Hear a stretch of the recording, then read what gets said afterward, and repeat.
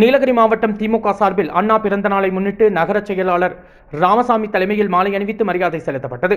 திராவிட முன்னேற்ற கழகம் என்ற விதையை முதன் முதலில் விதைத்த சி. என். அண்ணாதுறையின் நூற்றி பதினான்காவது பிறந்த தினம் இன்று தமிழகம் முழுவதும் கொண்டாடப்படுகிறது. அண்ணா என்று அன்புடன் அழைக்கப்படும் சி. என். அண்ணாதுரை கடந்த ஆயிரத்தி தொள்ளாயிரத்தி ஒன்பதாம் ஆண்டு செப்டம்பர் மாதம் பதினைந்தாம் தேதி அன்று நடராஜன் பங்காரு அம்மாள் ஆகியோருக்கு மகனாக பிறந்தார். திராவிட முன்னேற்ற கழகத்தின் முதல் பொதுச் செயலாளர் மட்டுமின்றி முதன் முதலாக வந்த திராவிட முன்னேற்ற கழக ஆட்சியின் முதல்வரும் ஆவார்.